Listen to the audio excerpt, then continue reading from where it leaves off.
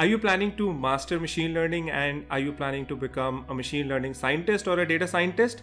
We have the solution in this podcast because in this podcast, we are going to continue where we left in episode 19th of Data Science and AI Weekly Hi everyone, my name is Manav. I'm the Chief Data Science Mentor at International School of AI and Data Science, and this is episode 20 of Data Science and AI Weekly. If you're not subscribed to this podcast, just go to the subscribe button and subscribe it immediately so that you don't miss the next episode when that is going to get released. And we release quite a few episodes on a weekly basis. So in this episode, we'll continue with our conversation with one of our star faculty at INSAID, Deepesh Wadhwani. So, we were having a chat in the previous episode with Deepesh on his journey. Now, we are going to take a turn and we are going to talk about getting prepared, getting you prepared for one of the machine learning tracks that he does, which is Machine Learning Foundation. So, welcome Deepesh again to episode 20. Thank you so much for having me here.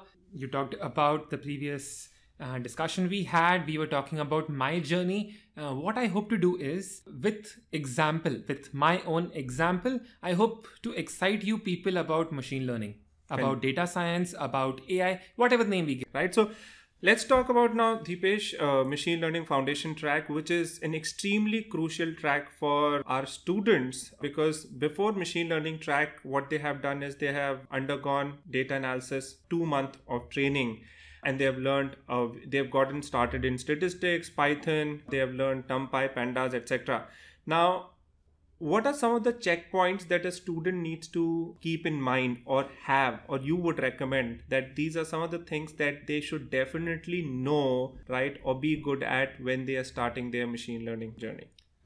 All right so instead of using the word good at when we are starting the machine learning journey let's use the phrase are accustomed to. So let's see what data science broadly encompasses the data. And the data will have something that we call explanatory variables. And hence, the one thing we should definitely have before coming to machine learning foundation is how do we look at the data? So the statistics, the mean, mode, medians of the data. How do we present this data in a Jupyter notebook? So pandas, data frame, statistics, Python, and the third important thing is logic. We should think about where this data is coming from, especially in our own domain. So these are the three basic things which I think everybody should bring along with them before we come to the very first introduction to machine learning session. All right. So now let's talk about the machine learning foundation track that you take tell us a little bit about what is going in your mind and what is your objective when you are teaching the machine learning foundation track and why do you think that students love sitting through your class so much so one of the major challenge that machine learning as the field has is it is a lot of math. So if we open any machine learning textbook, a lot of it will be equation. The first challenge is to translate that language called maths into language called English. So the one thing which I make sure of is that equation is translated into what we understand, our own domains. So that is challenge number one. Challenge number two, of course, is whenever we have a classroom full of, let's say, 50, 80, 100 students, everybody else will be at different level. Everybody else will be from different domain. How do we manage opinions of one domain? How do we make understand, let's say, who is from banking a problem statement which is from, let's say, mechanical engineering. So all the problem statements should be simplified for all of us to understand them very well. So these are two basic challenges that we face, but that's the fun of it.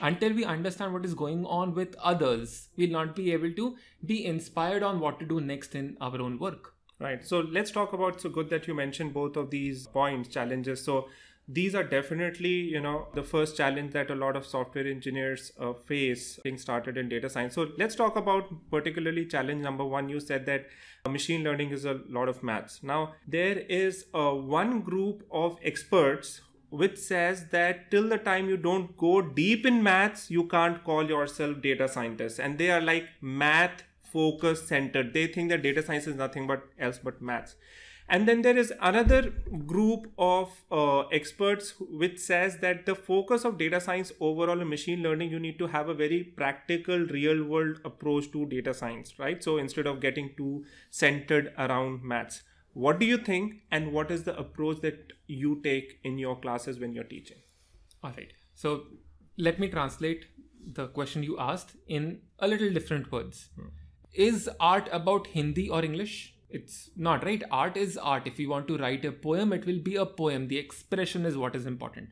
Math and the business, the business sense, the, the business, the business sense. These both are translation of the same problem in two different languages. So, data science for me is the logic, it's the way we decide things and not how we write it. So, an expression can be written in a mathematical equation, and that exact expression can be written in English language too.